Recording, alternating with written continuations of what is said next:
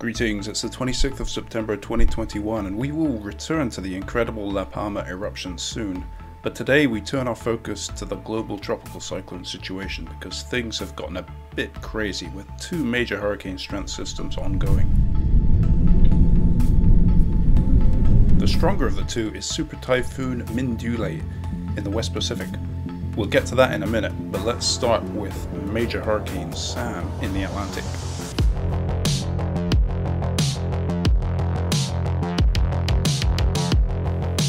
Here is the latest infrared imagery.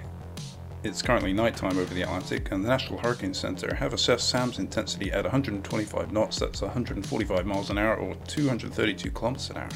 This makes Sam a Category 4 hurricane, or an ETA class tropical cyclone on the cyclone scale. The NOAA Hurricane Hunter aircraft released dropsondes that detected surface winds gusting to 162 knots in embedded mesovortices or tornado-like whirls in the eye wall. This means that on the cyclone scale we could classify these as ETA class mesocyclones within an ETA class tropical cyclone. Let's jump in with the Hurricane WRF. Sam's in a slightly dry environment which is likely one of the reasons why it is still quite small as we see here in the initial wind field, though the wind field has definitely grown in size since our last update two days ago.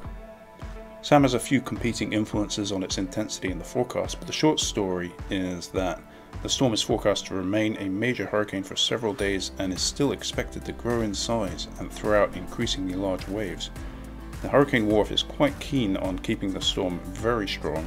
The only real potential land in the path of Sam is Bermuda, and Bermuda is up here where it says Hamilton. And if we go forward in the European Center model, we'll see the storm eventually getting up towards Bermuda in this simulation, but it's in towards the 3rd of October in the European Center model, and that is a Category 3 hurricane. However, the GFS model has the storm quite far off to the east and in a different position. It doesn't pass, it passes to the east of Bermuda, giving essentially no impact. So we'll definitely have to check back in on this one because the lace track looks a bit uncertain.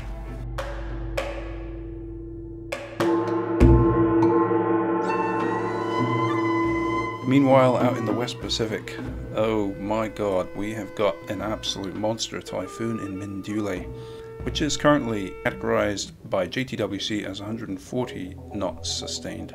That makes it a Category 5 on the Saffir-Simpson scale, and Theta class on the Cyclone scale. Here is the Hurricane WRF forecast. As we go forward, it looks like Mindulle does die down a little bit. It's moving very slowly towards the northwest. As it comes down, the wind field broadens a bit of re-intensification there. And towards the end you'll see that there are some islands that come in and pop into the path. There they are over here. And these are islands of the smaller islands of Japan to the southeast of Tokyo. If we bring in the joint typhoon warning center track into Google Earth we'll see those islands towards the end. And we've got one directly in the current track and that is Aogashima which is over here.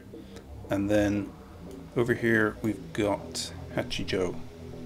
So there you have it, two massive powerful storms on the left, Super Typhoon Mindulle, and on the right, Hurricane Sam. And I will wrap it up there, and we'll probably be doing some updates pretty soon. At the moment, I've been doing videos every day, so hopefully check you in the next one tomorrow.